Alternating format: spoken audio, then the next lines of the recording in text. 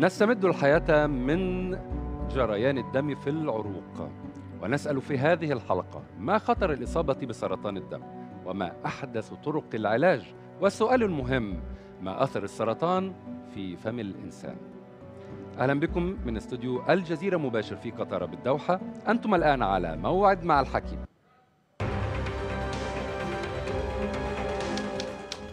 زراعة النخاع أمل الشفاء لمرضى سرطان الدم.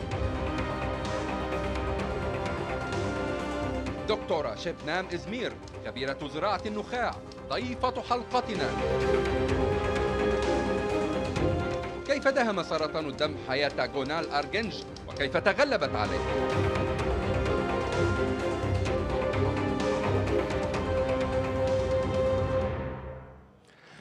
أرحب بكم مشاهدينا الأعزاء في هذا اللقاء التفاعلي المفتوح حول زراعة النخاع سبيلا لعلاج سرطان الدم. ويمكنكم المشاركة معنا في هذه الحلقة وطرح أسئلتكم عبر الرقم الظاهر أسفل الشاشة وعلى صفحتينا على فيسبوك وتويتر وصفحة الجزيرة مباشر على إنستغرام. ونلفت نظركم إلى أن هذه الحلقة تبث الآن مباشرة على صفحتي البرنامج. أرحب بضيفي في الاستوديو الدكتور صفاء العزاوي استشاري أمراض الأورام والدم بمؤسسة حمد الطبية. والدكتور عبد الناصر كرداس أخصائي أمراض الفم والتشريح المرضي بمركز الوحدة الطبية. وستكون معنا عفوا ستكون معنا عبر الهاتف الدكتورة شبنيم أزمير خبيرة زراعة النخاع بمجموعة مستشفيات كولن. فتحت عمليات زراعة النخاع بابا جديدا من الأمل على طريق مكافحة سرطان الدم إذ نجحت بالفعل في إيصال مرضى حالاتهم متأخرة إلى الشفاء التام من المرض. ولكن قبل الحديث عن العلاج وأحدث طرقه يوضح لنا دكتور صفاء العزاوي أهمية الدم ودوره في جسم الإنسان. الحمد لله والصلاة والسلام على رسول الله وعلى آله وصحبه ومن والاه. اللهم لا علم لنا إلا ما علمتنا إنك أنت العليم الحكيم. شكرا لقناة الجزيرة للاستضافة الكريمة وتحية لك ولجميع المشاهدين الكرام. الدم كما معلوم هو ينبوع الحياة. ولولا الدم لما استمرت الحياة. فهو يتدفق مع كل نبضة من نبض نبضات القلب لحمل الأكسجين إلى جميع أنحاء الجسم. وعنصر الأكسجين هو العنصر المهم لاستمرار الحياة ولولا جهاز الدم والدوران لما استمرت الحياة. والدم حقيقة له وظائف متعددة كثيرة. منها هو مثل ما قلنا أنه يحمل الأكسجين من الرئتين لتوزيع إلى جميع أنحاء الجسم. ثم يحمل ثاني أكسيد الكربون الناتج عن الأفعال الحيوية للتخلص منه. كذلك حمل الفضلات والسموم من أنحاء الجسم للتخلص منها عن طريق الجلد والكلى. كذلك مشاركة الدم في نقل المواد الغذائية من الجهاز الهضمي إلى أنحاء الجسم والخلايا الاستفادة منها كطاقة مثل الجلوكوز والبروتينات وغير ذلك. كذلك وهنالك وظائف هو الدفاع عن عن الجسم ضد الجراثيم والأوبئة نعم إذا إذا نعم. دكتور صفاء ما هو سرطان الدم وأنواعه؟ نعم سرطان الدم هو عبارة عن مجموعة غير متجانسة من الأمراض التي تصيب الخلايا والأنسجة المتواجدة في نخاع العظم مما يؤدي إلى إنتاج عدد كبير من الخلايا غير الناضجة بنمط واحد وتبدأ هذه الخلايا بالانتشار على حساب الخلايا الطبيعية ثم تتمدد وتزاحم وتزيح الخلايا الطبيعية ثم بعد ذلك تنتشر من نخاع العظم إلى مختلف أنحاء الجسم. وسرطان الدم طبعا نتيجة لهذا الغزو كما إذا صح التعبير آه، ينتج عنه نقصان شديد في وظائف الرئيسية لنخاع العظم وهو إنتاج خلايا الدم الحمراء مما يدعو إلى نقص شديد في الهيموغلوبين فقر دم شديد نقص شديد في الصفائح الدموية مما يعرض المريض إلى النزف من أي مكان. أيضا نقص وندرة في إنتاج الخلايا الدم البيضاء التي مسؤولة عن دفاع عن الجسم فيكون المريض عرضة لمختلف الالتهابات. عظيم. آه، دكتور عبد الناصر ما هي علاقة سرطان الدم آه، بالفم وكيف تؤثر في وظائفه؟ بسم الله الرحمن الرحيم وشكرا على الاستضافة. آه، الحقيقة هناك علاقة بين سرطان الدم والفم عن طريق تظاهرات بحوالي 65% من حالات سرطان الدم تتظاهر في الحفرة الفموية. على سبيل المثال والتظاهر الأكثر شيوعا لسرطان الدم ضمن الحفرة الفموية هو ضخامة اللثة. بصير في عنا آه، ضخامة للثة زيادة بتشكل نسيج ال- اللثة. عند هؤلاء المرضى نتيجة توضع الخلايا ال- الورمية السرطانية ضمن نسيج ال- اللثة. التظاهر الثاني هو ظهور الكدمات آه، أو النزوف من باطن الخد ومن اللثة أيضا نتيجة آه، مثل ما تفضل الدكتور نتيجة نقص الصفيحات وتعرض المريض لنزوف شديدة. طيب هل يمكن اكتشاف اللوكيميا أو سرطان الدم انطلاقا آه، من الفم؟ ظهور علامات معينة آه، تشير إلى هذا الموضوع؟ الحقيقة ال- ال- العلامة الوحيدة اللي ممكن آه، تشير لوجود سرطان آه، دم لوكيميا عند المريض هو وجود ضخامات لثوية على كامل اللثة آه، غير معروفة السبب تمام ومعممة على كامل نسيج اللثة لدى الإنسان. هذا الشيء ممكن يخلينا نعمل استقصاءات إذا المريض ما كان بيأخذ أدوية ما عنده أي عوامل موضعية آه، سببت ضخامة اللثة فمفروض إنه نستقصي أكثر ونبحث عن هذا الموضوع. وفي عدة حالات لكن بتضل قليلة آه، قادت لتشخيص سرطان دم انطلاقا من الحفرة. الفموية. طيب لنستبين الصورة أكثر دكتور عبد الناصر آه، وضح لنا آه، ونفهم الفرق بين العلامات وبين سرطان الفم. نريد أن نفهم ما هو سرطان الفم وأماكن الإصابة به وطبعا مدى انتشاره. سرطان الفم الحقيقة موضوع مختلف تماما عن سرطان الدم واللوكيميا. آه، هو كمان عبارة عن طائفة واسعة من ال- السرطانات مختلفة تنشأ على حساب عدد آه، آه، متنوع ومختلف من الخلايا اللي موجودة ضمن الحفرة الفموية. لكن الأكثر شيوعا من سرطانات الفم هو اللي عادة يسمى أورال كانسر على حساب على حساب ينشأ على حساب ظهارة الفم أو بشرة الفم. آه، أكثر المناطق إصابة بهذا النوع من السرطان هو آه، جانب اللسان آه، بالإضافة إلى قاع الفم والمنطقة خلف ال- الأضراس على الفك السفلي. هي أكثر المناطق إصابة. طبعا في أماكن كثير ممكن تصاب بالحفرة الفموية ممكن الشفة ممكن قبة الحنك وأماكن ثانية آه، سرطان الفم تقريبا هو السادس آه، من بين السرطانات انتشارا آه، تقريبا السادس للتاسع حسب آه، المنطقة الجغرافية. بالضبط آه. المنطقة الجغرافية مختلف لأنه هو مرتبط بشكل آه، بشكل كبير بالتدخين بالكحول وعوامل ثانية لكن بشكل رئيسي هو مرتبط بالتدخين. فالبلاد اللي آه، بلاد وسط آسيا آه، تقريبا آه، الباكستان أفغانستان الهند بوتان هاي البلاد بينتشر فيها سرطان الفم بنسبة أكبر. آه، نتيجة استخدام تبغ آه، بشكل مضغ. فبيضل فترات طويلة على تماس مع الحفرة الفموية تحت اللسان أو على باطن الخد. فانتشار طيب سرطان بما الفم إننا بهالمناطق أشرنا أكبر. لسرطان الفم ما هي نسبة الشفاء منه وأحدث طرق العلاج. نسب الشفاء تعتمد الحقيقة على التشخيص المبكر. كل ما كان التشخيص آه، سرطان الفم مبكر كل ما كانت نسب الشفاء أعلى. يعني عندما يتم تشخيص آه، آفات قبل سرطانية قد تكون آه، نسب الشفاء 100% آه، في المراحل الأولى ممكن توصل نسب الشفاء ل 90% لكن في المراحل المتأخرة ممكن توصل نسب الشفاء للأسف ل 26% من الحالات. مم. وبقية الحالات ممكن كيف تؤدي إلى بيكون الوفاة العلاج؟ العلاج العلاج التقليدي الكلاسيكي هو علاج جراحي باستئصال الآفة واستئصال إذا كان في عقد لمفاوية آه، منتشر لها الورم بالمنطقة آه، يضاف إلى العلاجات الجراحية علاج شعاعي وعلاج كيماوي وهناك علاجات حديثة أخرى يتم العمل عليها. واحيانا يعني آه، ما بيتم اللجوء للعلاج الجراحي وإنما فقط الكيماوي والعلاج الإشعاعي. عظيم. آه، طيب آه، دكتور صفاء ما هي أهم طرق علاج سرطان الدم؟ نعود الآن لسرطان الدم فرقنا ما بين هذا وذاك.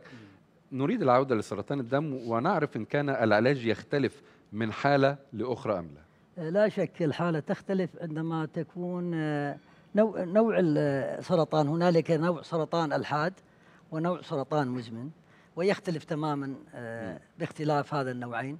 لأنه السرطان المزمن ربما بعض أنواعه لا يحتاج إلى علاج فقط متابعة سريرية ومتابعة مختبرية وربما المريض يعيش إلى سنوات عديدة بدون أي علاج. لكن سرطان الحادة يجب التدخل بصورة سريعة جدا وإعطاء المريض العلاجات اللازمة.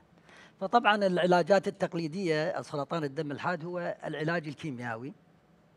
آه، وقبل ذلك آه، هو اولا آه، نقيم حالة المريض في البداية لأنه المريض في البداية يكون عرضة للالتهابات فيأتي بحرارة عالية جدا آه، يكون عنده نزف شديد من مختلف أنحاء الجسم فقر دم شديد طب يؤدي غير غير الكيمياوي في أعتقد آه، يعني آه، أنواع علا- علاجات أخرى نعم هنالك علاجات أيضا علاجات يسمى علاجات استهدافية. تستهدف الجين المورث اللي يكون فيها الخلل هي آه، النظرية ت- تؤكد على أنه المحفز لحدوث سرطان. هنالك تغير في المورثات مما يؤدي إلى تفعيل مورثات مسرطنة أو تعطيل مورثات التي آه، تحبط جماح آه، بعض الخلايا الورمية فاما تفعيل أو تعطيل. فهذا الحافز الرئيسي لكن السبب غير معروف حقيقة. مم. ف فاذا إذا حدث بعض ال- ال- الطفرات هذا الوراثية. يندرج في إطار زراعة النخاع مثلا دكتور؟ لا كيف يعني؟ يعني هذا ال- لا ال- العلاج الاستهدافي هنالك يعني على سبيل المثال آه، مرض آه، ال- النقوي المزمن ال- آه. مرض آه، نوع من أمراض مرض الد- اللوكيميا ال- ال- المزمنة. هنالك طفرة وراثية في الكروموسوم بين الكروموسوم 9 و22 جزء من المادة المورثة تنتقل من كروموسوم إلى كروموسوم يؤدي إلى ظهور جين جديد مورث يؤدي إلى تحفيز الخلايا ويؤدي إلى سرطان نعم. الخلايا ال- العلاجات الاستهدافية آه، تعمل على هذا الجين طيب. وتسد تسد هذا الجين وتمنع حدوث عظيم. هذه طيب.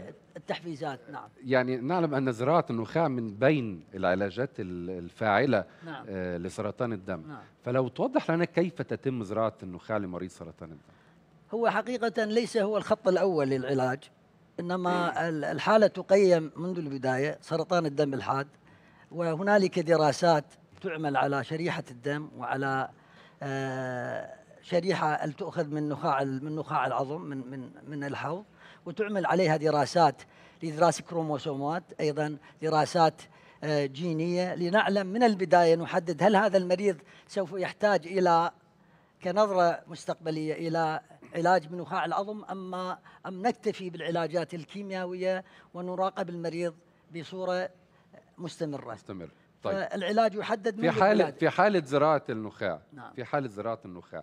آه، نريد أن نفهم آلية هذه العملية. هي عبارة عن طبعا نحن يعني نعم. نشاهد هذه الصور التي توضح كذلك آه، نعم. ما ستقوله. دكتور آه، هو زراعة النخاع ال- ال- العظم ينقسم إلى قسمين إما زراعة ذاتية وإما زراعة من شخص آخر. الزراعة الذاتية تستخدم في نوع من آه، الأمراض الورمية مثل آه، أمراض الغدد اللمفاوية ومرض النقوي المتعدد اللي يسمى multiple myeloma وإما زراعة النخاع من الشخص الآخر وهي تستخدم في حالة اللوكيميا يعني السرطان الحاد. تبرع يعني. تبرع من آه. شخص وطبعا يكون الشخص من القرابة من الدرجة الأولى إما من الأخ أو من الأخت ل- ل- لأنه يحتاج إلى تطابق نسيجي بين نسيج المريض ونسيج ال- ال- المتبرع. وهي عبارة عن جمع خلايا جذعية من المريض مثل ما نشاهد. آه. آه وجمعها وعزلها ثم خزنها تحت درجات آه مئوية آه، منخفضة جدا يتم خزنها.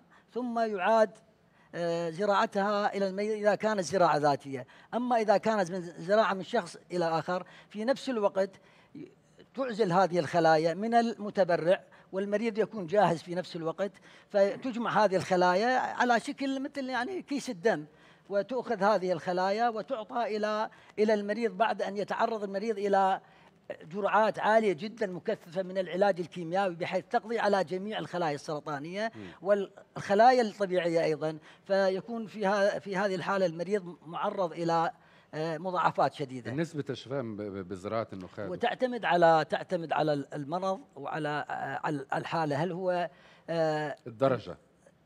يعني إذا كان المريض هو ب- بالبداية يعني كل كل مرض آه، سرطان الدم الحاد نعطيه علاجات كيميائية ونشوف الاستجابة. هل المريض تخلص تماما من الخلايا السرطانية بنوع من من الفحوصات آه، آه، الدم أو نخاع العظم؟ ثم آه، إذا كان المريض بعد الشفاء الأول من من العلاج الكيميائي المريض عولج ب آه، زراعة نخاع العظم آه، يعني يكون نسبة الشفاء عالية جدا ربما تبلغ إلى 50 إلى 55% إذا كان آه، إعطاء هذا النوع من العلاج بعد العلاج الأولي والمريض اكتسب الشفاء التام منذ ال- المرحلة الأولى من العلاج الأولي.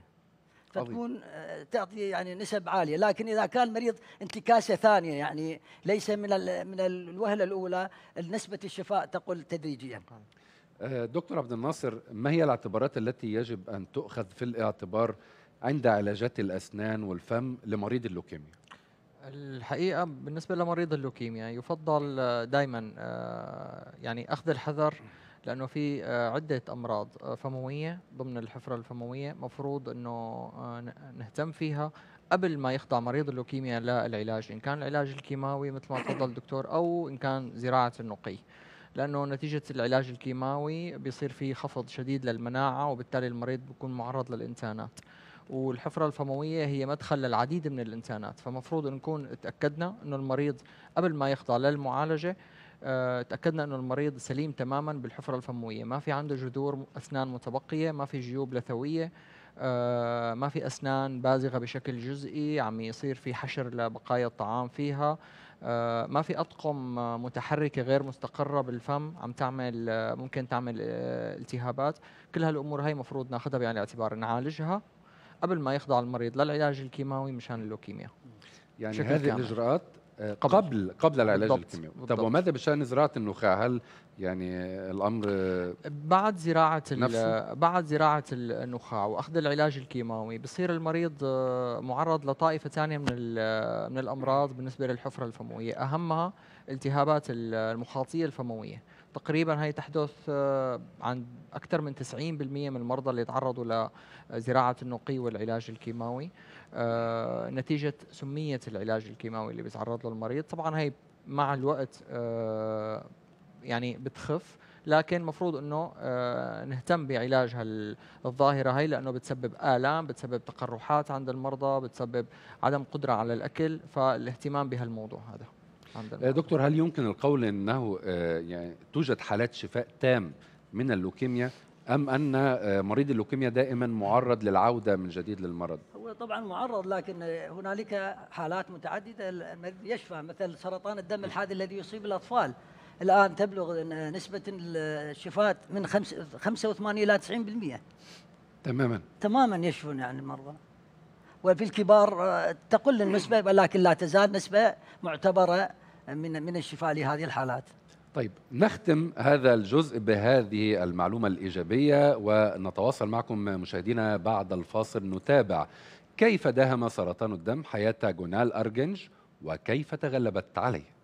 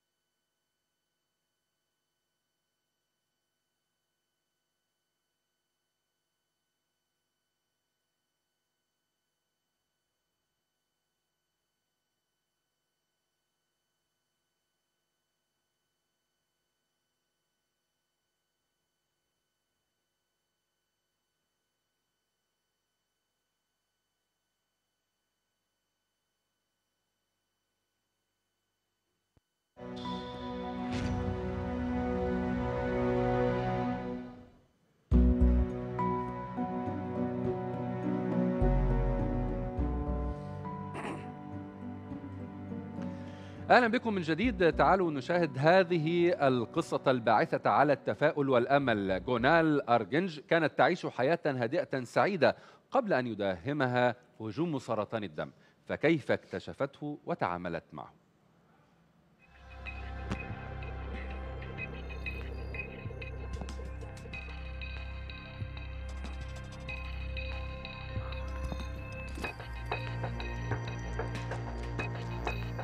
Adım Güner Ergenç.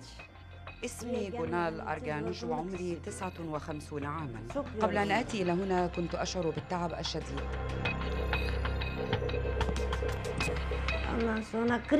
فقررت الذهاب إلى yani المستشفى وأنا معتقدة. أني مصابة بالإنفلونزا. وقمت بعمل بعض الفحوصات التي أوضحت انخفاض نسب الدم لدي وهنا تم تحويلي إلى قسم أمراض الدم.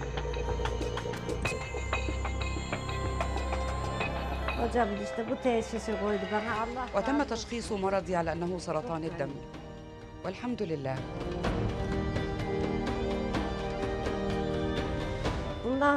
أتمنى بعد علاجي من المرض أن أقضي حياتي مع عائلتي.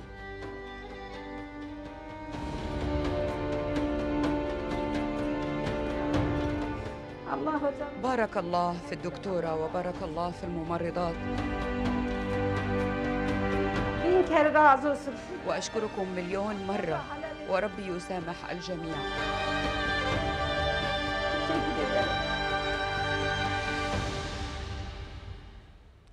ومعنا عبر الهاتف من اسطنبول الطبيبة المعالجة للحالة دكتورة شبنيم إزمير آه، خبيرة زراعة النخاع بمجموعة مستشفيات قلم دكتور شبنيم خبرينا أكثر عن حالة السيدة جونال وعن طريقة العلاج التي اتبعتيها معها.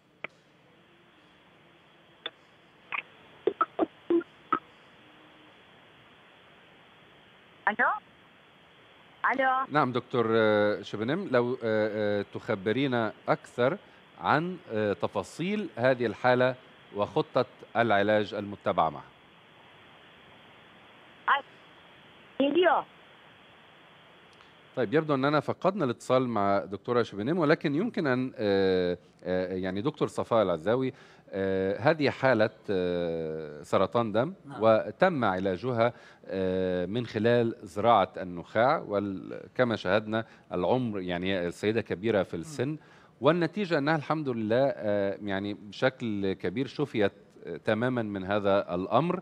فتعليقك على هذه الحالة وإن كان آه، يعني يمكن أن يتكرر ذلك أو الظروف التي تؤدي إلى النجاح والشفاء تماما آه، من سرطان الدم بزراعة النخاع وحقيقة آه، الزراعة تحتاج إلى جهد كبير.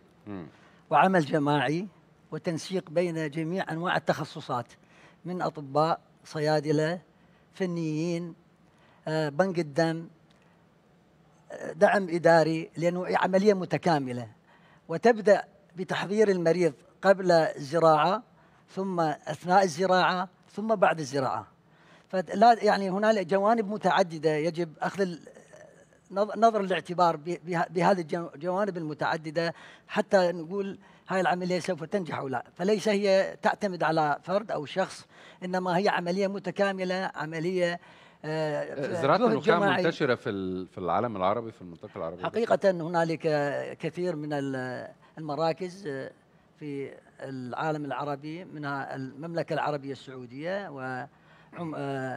وسلطنة عمان في الكويت والحمد لله في قطر بدأت هذه آه، التجربة من قبل حوالي ثلاث سنوات آه، بدعم كبير م- م- آه، من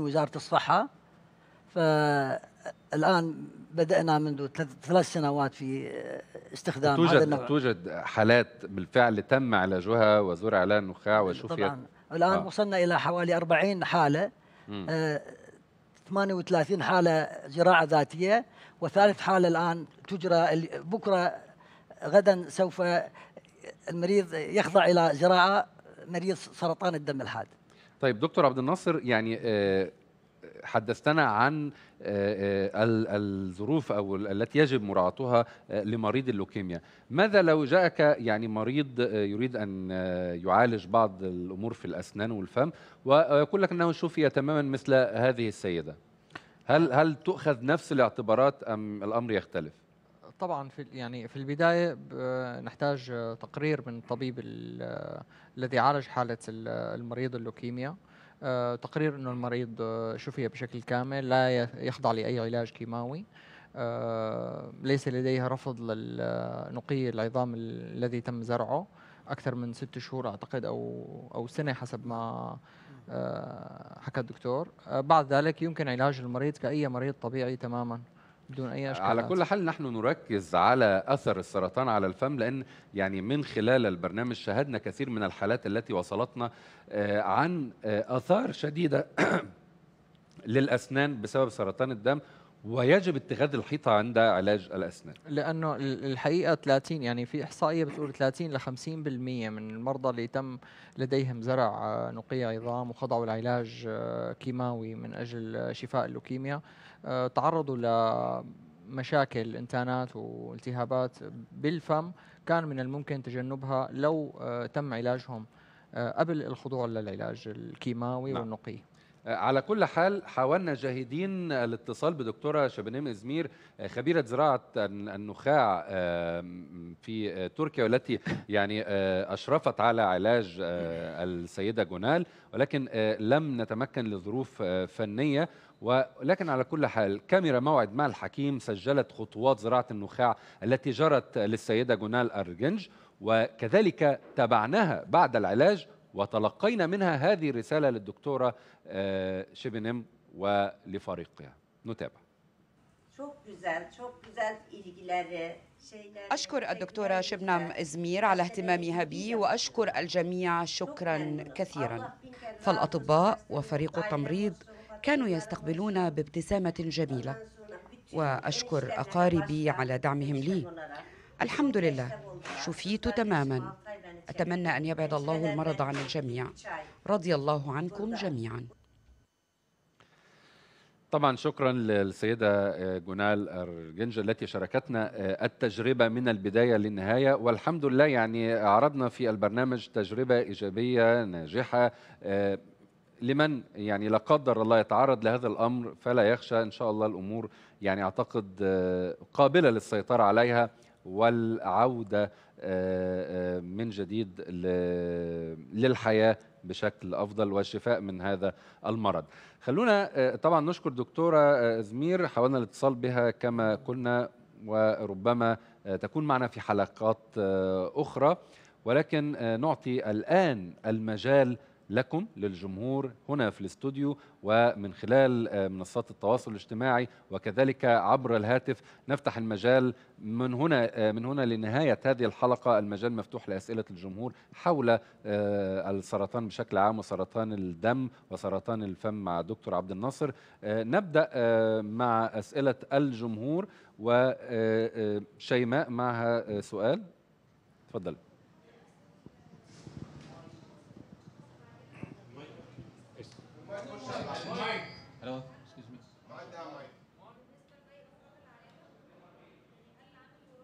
العامل الوراثي. طيب نبدأ مع دكتور صفاء. نعم وجود تاريخ مرضي في سرطان الدم بالعائلة يعرض يكون نسبة الإصابة لل للأفراد يعني الدرجة العو... الدرجة الأولى من تاريخ الدرجة الأولى. ما تاريخ مرضي كيف دكتور؟ يعني يعني وجود سرطان آه. في العائلة يعني أحد يعني أفراد ما العائلة أقصده ال- الأب فقط مثلا أو الأم أم أي فرد من العائلة؟ يعني على سبيل المثال إذا الأخ مصاب هناك تاريخ نسبة الإصابة بالأخوة ترتفع من ثلاثة إلى أربع مرات عن عن الناس الطبيعيين مم. فوجود تاريخ مرض آه، له أثر يعني في في حدوث أو احتمالية إصابة أحد أفراد العائلة من الدرجة الأولى بسرطان الدم يعني يرفع نسبة يرفع. نسبة الإصابة طيب آه لكن دكتور بصورة عامة يعني. حتى نطمن الجمهور انها هي بصورة عامة أمراض سرطان الدم الحاد آه، من الأمراض النادرة وليس الشائعة يعني أصل في ناس تعتقد طالما الأب عنده المرض أو الأم نعم. فسيصاب بالتأكيد لا لا ليس آه. لا لا ترفع النسبة إنما لكن ترفع ليس النسبة بالضرورة. وليس شيء أكيد وهذا ينطبق كذلك على. سرطان الفم نعم. تماما طيب سؤال آخر من الجمهور اتفضل آه، في الميكروفون. كنت حابب أسأل الدكاترة ضيوف الأعزاء بس آه، كيف يتم الوقاية من آه، من هذا المرض؟ وكيف يتم اكتشافه في طريق بطريقة أو في وقت مبكر بحيث إن عملية العلاج تبقى أسهل؟ آه، طرق الوقاية وطرق آه، اللي أنا أقدر أكشف بيها المرض في مرحلة مبكرة قبل ما يتفاقم المرض بحيث إن العلاج يبقى أسهل. آه، آه، سرطان ال... آه، سرطان الفم. سرطان الفم. طيب دكتور عبد سرطان الفم الحقيقة هلا أنا في نقطة بس بدي انوه عليها. نسبة الإصابة كمان بالنسبة ل... يعني لموضوع نسب الإصابة تقريبا آه، يعني من كل 100 ألف شخص تقريبا 2.7 بالإحصائيات لأربعة وممكن توصل ل 10 أشخاص قد يصابوا بسرطان الفم حسب من 100 ألف شخص. من 100 ألف شخص. حلو. تقريبا هي هي النسب من 2.7 تقريبا ل 10 آه، بالنسبة لسؤال حضرتك الوقاية آه، بدنا ننتبه يعني المفروض ننتبه لعوامل الخطورة. عوامل الخطورة بشكل رئيسي هي تدخين الكحول آه، وبالإضافة لوجود قصة عائلية. فطالما في عنا عوامل خطورة مفروض عنا فحص شامل مت... كل تقريبا كل ست شهور أو كل سنة عن طبيب الأسنان فيما يخص هالموضوع هذا. من بعد سن ال 55 سنة مفروض يصير في عنا فحص دوري للتأكد من عدم من سلامة الفم سلامة اللسان وكل هالمناطق هاي من وجود أي آه، تظاهرات ما قبل سرطانية لدى الشخص.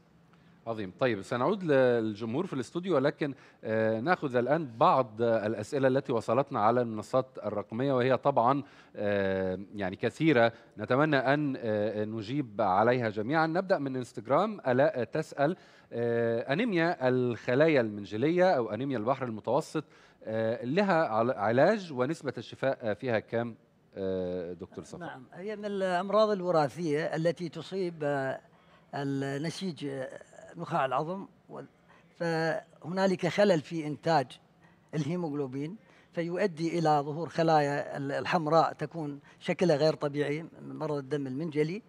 وإما آه، تكون أيضا آه، كبيرة الحجم آه، في بحر الأبيض المتوسط غير شكلها غير طبيعي مما يؤدي إلى تكسر ال- الخلايا ب- ب-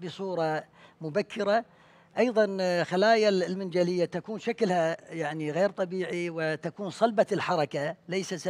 فربما تسبب انسدادات متعددة في الأوعية الدموية ويسبب مما يؤدي نو... نوبات إصابة. الشفاء منها دكتور. هو حقيقة بالعلاجات التقليدية ليس هنالك شفاء لأن هنالك مرض وراثي في تعايش ال- يعني يمكن التعايش تعايش. معه. لكن الآن هو من أحد آه، وسائل العلاج هو استخدام زراعة نخاع العظم في هذه الحالتين. عظيم. آه كذلك آه آه من فيسبوك آه كيلي تسأل دكتور عبد الناصر كرداس ما هي أسباب نزيف اللثة المتكرر وهل يستلزم آه خلع ضرس العقل أم يمكن علاجه؟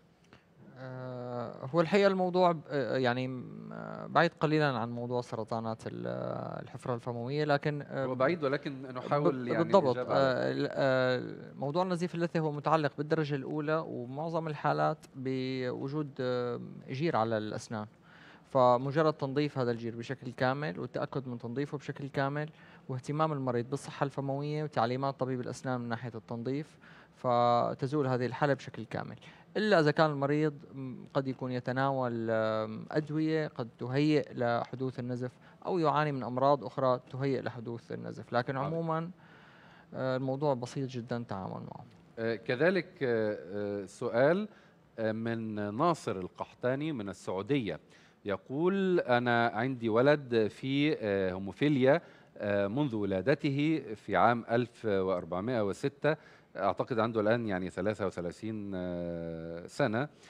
والسؤال هل يقدر يتزوج وهل ينتقل المرض لأطفاله؟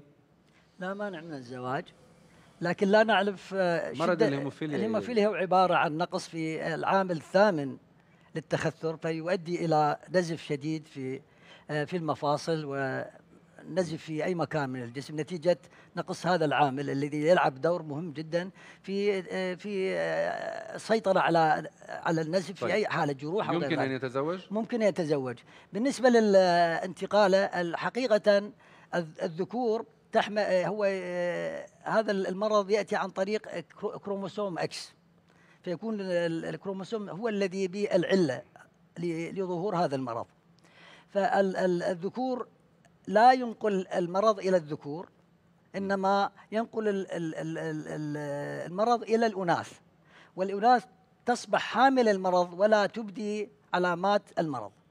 لأن هو XY إذا تزوج طبعا XY للذكر ولد. إكس إكس للأنثى. أو ولد. فال X المصاب من من الذكر عندما يتحد مع ال X ال- الأناث فهذا الإكس المصاب تكون الأنثى حاملة لهذا المرض. مم. وهذا الأنثى يعني بنت هذا ال ال يعني يعني هذا الولد الرجل احتمال ينقل المرض فال الأنثى- أنجب ال- بنت. الأنثى هي التي تنقل المرض إلى الذكر. فهذه الأنثى إذا انجبت ذكرا فالذكر يصبح مصابا بالهيموفيليا. إنما ذكور ابنة لا لا, لا يصابون يعني بالمرض. هو ينقل المرض في حال أنجب بنتا. بنتا نعم. والبنت والبنت لا تكون حاملة. تنقلها لابنها نعم آه نعم آه، إنما لو أنجب آه، ولد ما لا ينقل له لا. ينقل له نعم نعم سبحان الله نعم. سبحان الله نعم. لكن على يعني على على هذا المريض أن يداوم على العلاجات آه، يعني يأخذ فاكتور 8 بصورة مستمرة حتى يمنع النزف المتكرر طيب وهذا أكيد دكتور مسألة نقل المرض لابنته أم احتمالات كذلك لا لا آه، الإكس يعني هو الإكس المصاب راح ي- كل كل الأناث تكون حاملة لهذا ضروري. ال X آه. كل الأناث عن طريق آه، تكون آه، انتقال ال X المصاب إلى جميع الأناث يعني سبحان الله هو عليه أن يتزوج وأن ينجب ولد لي- ليجنبه آه،. انتقال المرض وهذه معلومة يعني نعم. غريبة تتعلق بمرض الهيموفيليا طيب نبقى مع تويتر وهذا سامي الجرادي الذي يسأل متخوفا من تفاقم حالته فيقول أنا معي الفك الأيسر خرج من مكانه وأصبح وأصبحت أواجه صعوبة في المضغ والتحكم فيه. فما الحل لحالته لحالتي؟ جزاكم الله خير. الحقيقة خروج ال- الفك يعني حسب ما فهمت على على الأخ سامي غالبا هو مرتبط بمشكلة بالمفصل. يعني المفصل يخرج من مكانه ويرد يعود بوقت آه، إطباق الأسنان. فالحالة حقيقه يعني طالما هيك ما أنا حاله بتخوف. يعني أنا بطمن ال- الاخ سامي لكن المفروض يتابع مشان العلاج مع طبيب جراحة أو طبيب تقويم. لإصلاح حالة ال- الخلل بالمفصل الفك الصدري. هو على ما يبدو كذلك متخوف من أنها تكون علامات آه، لشيء خطير يعني. ابدا هي مشكلة بالمفصل بسيطة ولكن لازم يتابع يعالجها بس لا أكثر. عظيم. سؤال آخر آه، آه، أو سؤال من كيلي لدكتور صفاء. هل هناك علامات تدل على إصابة الشخص بسرطان الدم؟ وهل كان هل كل الحالات يتم علاجها؟ مثل ما ذكرنا العلاج آه، يعتمد على نوع السرطان إذا كان حاد أو مزمن. بعض ال- ال- السرطانات المزمنه لا تحتاج إلى علاج لكن هناك سرطان مزمن يحتاج إلى علاجات استهدافية آه، عبارة عن طريق عقاقير تؤخذ عن طريق الفم تستمر لفترة طويلة والمريض يعيش حياة حقيقة شبه طبيعية. آه، أما الحالات آه، سرطان الدم هذا يحتاج إلى علاج كيميائي أو علاج بال- بالإشعاع أو ب- ب- بعلاج زراعة نخاع العظم، ليس هنالك علامات خاصة بسرطان الدم، إما ما آه، إما الأعراض آه، السريرية التي يصاب بها سرطان مرضى سرطان الدم آه، تختلف اختلاف كبير حسب حسب شدة المرض وحسب العضو المصاب وحسب شدة فقر. الدم فليس هنالك إنما يأتي علامات محددة. على علامات آه، ت- تأتي سنواصل مختلفة. الحديث آه، عن هذا الموضوع نعم. ومستمرون معكم مشاهدينا وبعد الفاصل مزيد من الأسئلة أسئلة الجمهور موعد موعد مع الحكيم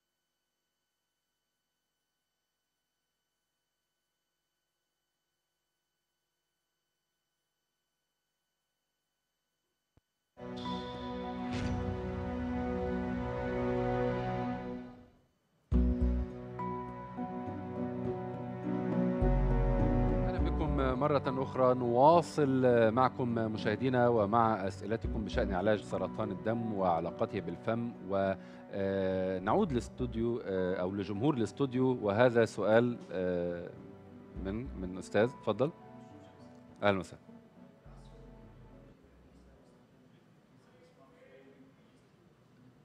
هو الصوت غير آه، غير واضح. يعني أرجو علي صوتك شوي.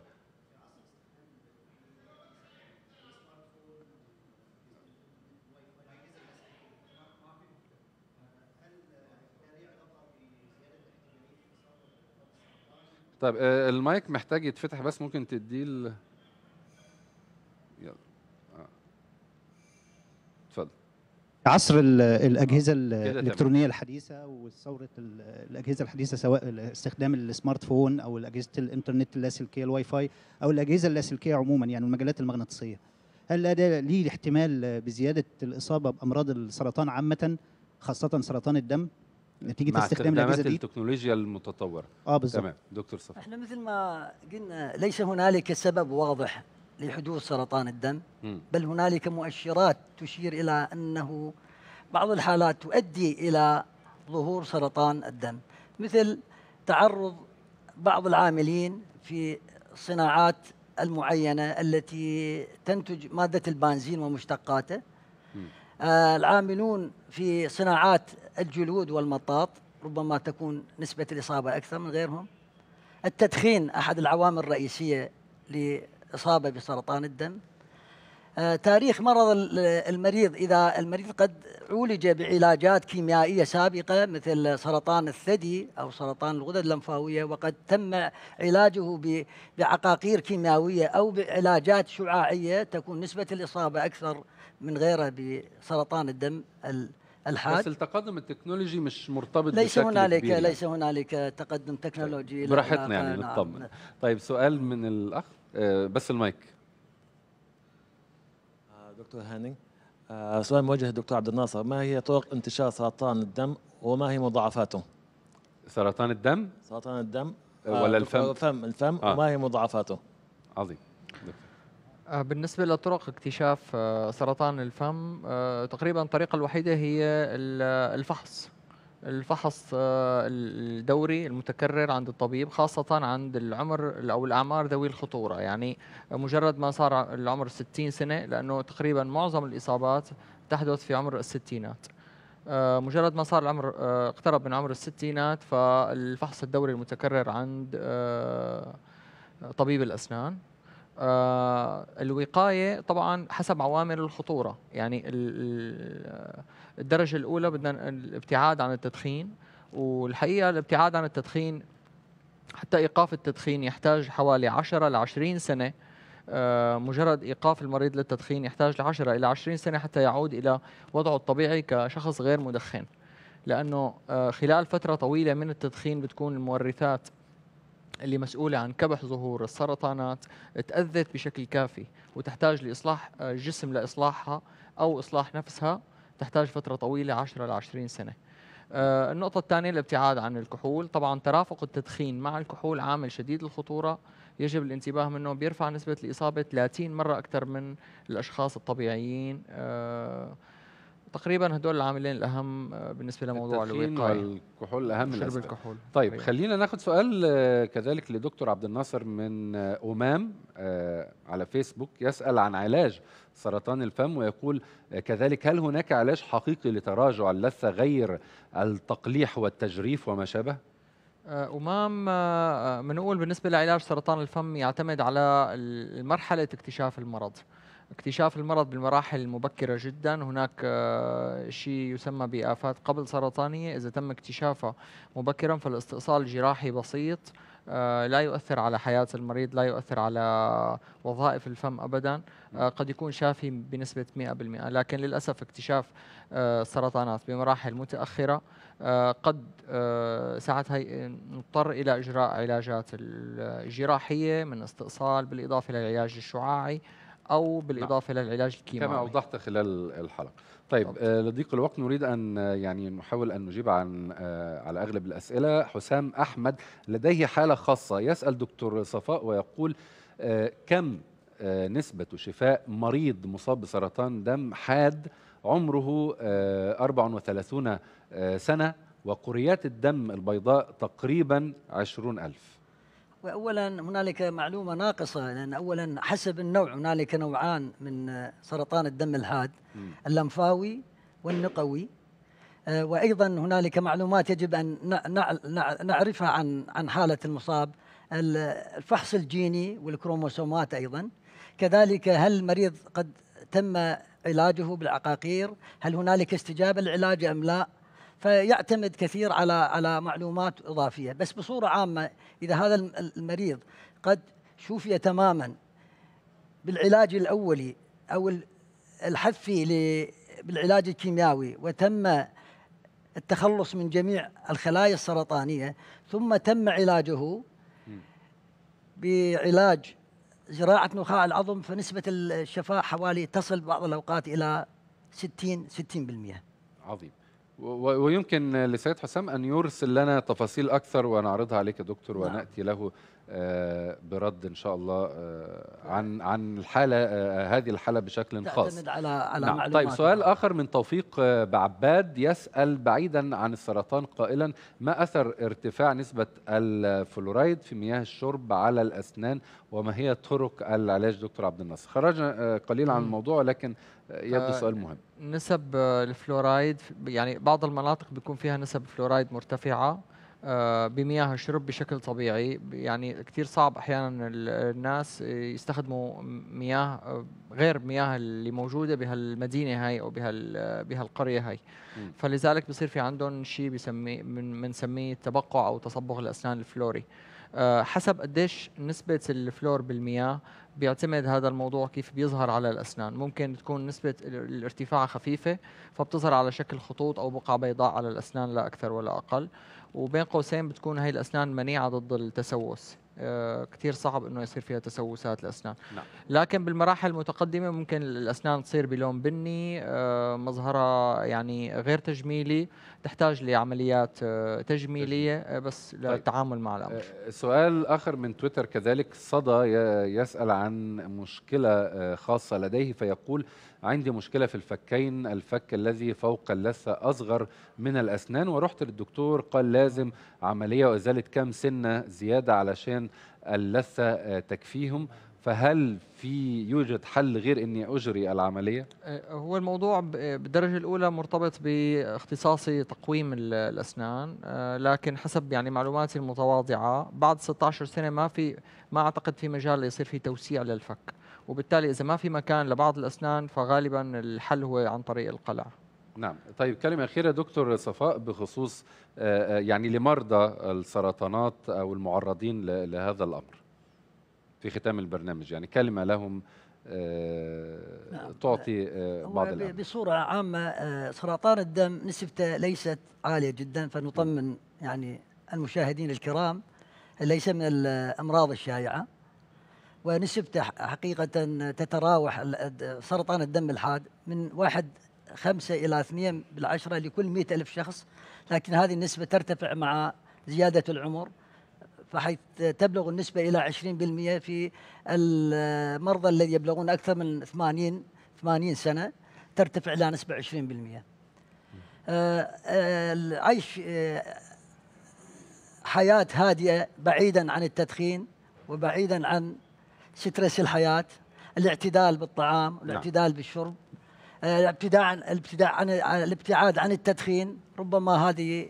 ك يعني كطريقة لوقاية ليس لكن ليس هنالك طريقة للوقاية مضمونة أو ل- لتجنب هذا لعدم الإصابة بهذا الأمر. لعدم الإصابة بهذا. والأمل دائما الامل موجود. موجود. نعم. آه، في الختام أشكر آه، دكتور آه، صفاء العزاوي استشاري أمراض الأورام والدم بمؤسسة حمد الطبية. وكذلك دكتور عبد الناصر كرداس أخصائي أمراض الفم والتشريح المرضي بمركز الوحدة الطبي ودكتورة آه، شبنيم ازمير التي لم نتمكن من التواصل معها عبر الهاتف وهي خبيرة زراعة النخاع آه، في مستشفيات كولن. وأشكركم طبعا أشكر كل من حضر في الاستوديو وأشكر مشاهدينا الذين أرسلوا لنا هذه الأسئلة. دمتم بصحة وإلى اللقاء.